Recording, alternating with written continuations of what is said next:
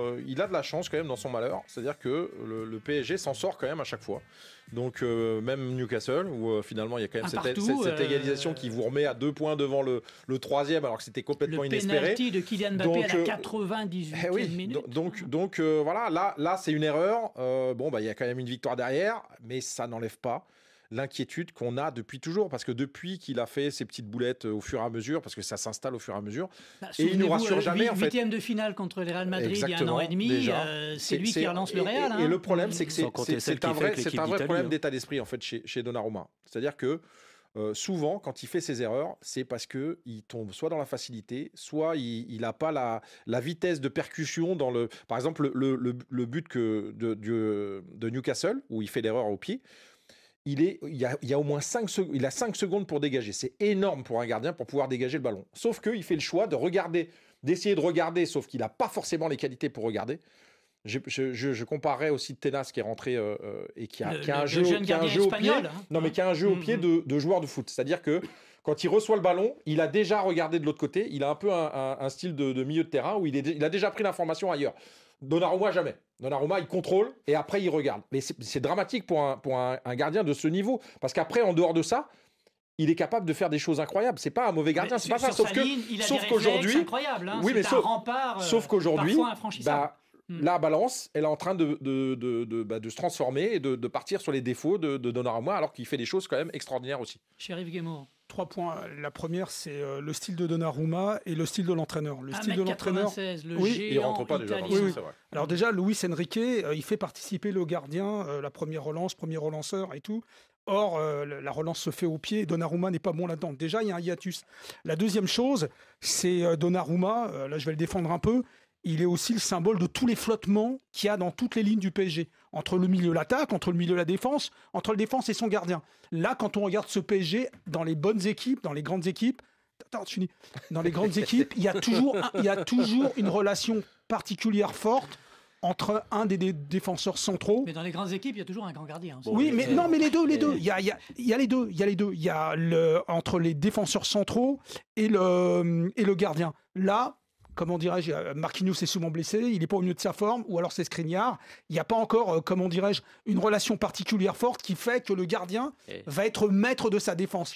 Et enfin, je finis, troisième chose, Paris va aller jouer à Dortmund. Dortmund, c'est une équipe de jeunes qui fait un pressing très haut, très agressif, et c'est évident qu'ils vont miser sur le jeu au pied de Donnarumma. Et là, c'est un, un secteur d'inquiétude. Les, amis, les amis, moi je vais résumer la situation de manière beaucoup plus simple. C'est un gardien moyen.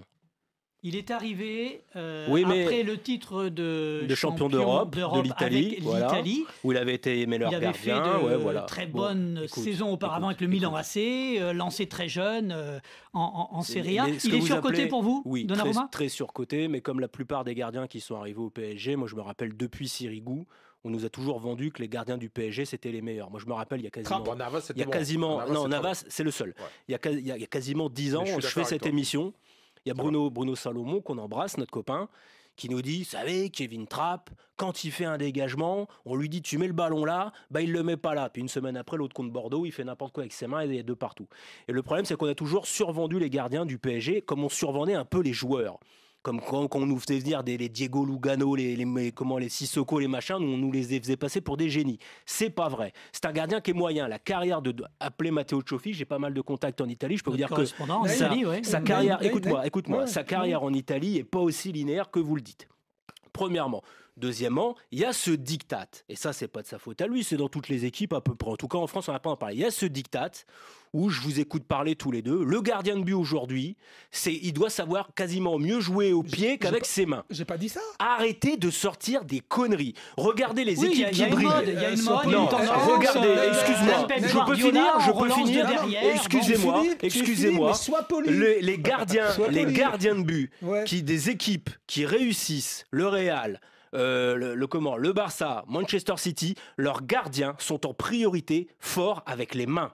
Il n'y a que chez nous où il faut impérativement repartir par l'arrière et Donnarumma ne sait pas le faire. Et quand on aura intégré le fait qu'il n'est pas bon avec ses pieds et qu'avec ses mains c'est un gardien moyen, on y verra peut-être un peu plus clair sur la situation du PSG. Alors, moi, j'aimerais demander quand même, euh, Chérif, j'aimerais demander à, Eric euh, bah, qui a joué à Paris il y a quelques années.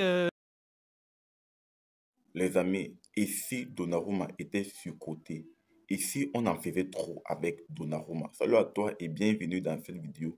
Dans cette vidéo, on va parler de Donnarumma. Mais avant de commencer, si tu me découvres à travers cette vidéo, ici on parle de foot. Ici on pas passionné par le foot. Donc si tu es intéressé par la thématique, si la thématique te parle, n'hésite pas à t'abonner, d'activer la cloche de notification pour ne rien manquer de prochaines vidéos si c'est on est parti. Alors les amis, et si Donnarumma était sur-côté, et si on en faisait trop avec ce gardien Déjà, Donnarumma, les amis, au Milan AC, il était très très fort. Il était très très fort au point où il a remporté l'Euro avec l'Italie. C'est parce qu'il est fort avec le Milan que l'Italie décide d'en faire son gardien titulaire. Et c'est comme ça qu'il remporte l'Euro avec l'Italie. Il est non seulement meilleur gardien et il remporte l'Euro. Bref, il a été monstrueux dans cet Euro. Monstrueux. Du coup, donc, lorsque euh, il jouait l'Euro, il était en fin de contrat avec le Milan C. Club dont il a refusé de prolonger. Il a refusé de prolonger avec le Milan C. Du coup, donc, il était libre. Il était libre de s'engager avec le club qu'il a envie de jouer. Pour le coup, ici, il a choisi le PSG. Le PSG, donc, a bondi sur l'opportunité. Tu as le meilleur jeu de l'euro. Il a remporté l'euro. Il a en confiance, etc.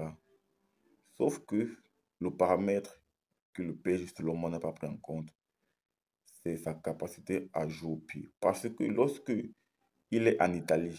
Il est champion d'Europe avec l'Italie. Devant lui, il y a qui? Il y a les Bonucci, Chiellini. C'est une défense qui joue très, très, très, très bas. Très, très bas, les amis. Donc, euh, ça joue bloc bas. Et du coup, ça n'est pas vraiment, ça pas vraiment en évidence ou bien lacune au jeu au pied de John Luigi Donnarumma. Une défense qui joue très, très bas. Un bloc très bas. Du coup, Donnarumma n'est pas exposé à jouer au pied. On sait que sur sa ligne, c'est un mec monstrueux. Il est monstrueux sa ligne. Très monstrueux même. Ce qui fait qu'il est meilleur joueur de l'euro, meilleur gardien, etc. Il remporte l'euro. Du coup, le PSG bondit sur l'opportunité. Puisque il était libre avec le Milan, il a refusé de prolonger au Milan. Le PSG a juste payé euh, sa prime à la signature. Il arrive donc au PSG, il trouve Navas. Le PSG euh, fait tout pour dégager Navas afin d'installer Donnarumma, le futur gardien du monde. Sauf que quelques temps après, le PSG, comme je l'ai dit, se rend compte qu'il a des sérieuses lacunes au pied. Et tous les entraîneurs qui arrivent au PSG veulent jouer, veulent relancer court, veulent relancer proprement. Que ce soit Pochettino ou encore Galtier et maintenant Lucien Riquet. Ils veulent relancer coup, sauf que Donnarumma n'a pas ces qualités-là. Il n'a pas ces qualités-là. En Italie, lorsqu'il remporte l'Euro, c'est Bonucci et Chiellini qui sont devant lui et l'Italie joue en bloc très très bas. Au PSG, Lucien que prône un jeu offensif, un jeu qui demande beaucoup aux gardiens de s'exposer au pied. Du coup, du coup, comme Donnarumma n'a pas ces qualités-là, il se loupe, il prend des cartons rouges et beaucoup estiment que Donnarumma est sur-côté. Donnarumma, si on avait été dans les années 90, début des années 2000, pour moi, ça devait être le meilleur gardien du monde. Parce qu'il est très très fort sur sa ligne. C'est juste que comme le football a évolué, les entraîneurs demandent beaucoup plus aux gardiens de participer au jeu, chose que Donnarumma ne sait pas faire. C'est ça qui fait en sorte qu'on pense que Donnarumma n'est pas fort. Donnarumma, c'est un excellent gardien. Un excellent gardien. Si vous le mettez dans un club de Jésus Mourinho, il va exceller parce que Mourinho ne demande pas à ses gardiens de relancer proprement. Donc, c'est aussi en fonction du système de jeu. Si vous le mettez dans un club de Mourinho, il va s'épanouir. Il va s'épanouir. Donc, moi, je pense que Donnarumma n'est pas au bon endroit au PSG. Le système de jeu de Lucien Ricky n'est pas compatible avec Donnarumma. Ce n'est pas qu'il est surcoté. Pour moi, on le juge à sa juste valeur n'est pas côté. On parle quand même des mecs qui ont remporté l'euro. Hein. On parle du meilleur jeu de l'euro, meilleur gardien. Donc, euh, ce n'est pas donné à n'importe qui. Pour moi, il n'est pas côté. C'est juste que il n'est pas au bon endroit. Il n'est pas au bon endroit. Après, partage-moi ton ressenti en commentaire sur John Luigi Donnarumma. Et si ce n'est pas encore fait, n'hésite pas à t'abonner, d'activer la cloche de notification pour ne rien manquer de prochaines vidéos. on se dit à très bientôt pour notre vidéo, les amis. Ciao, ciao.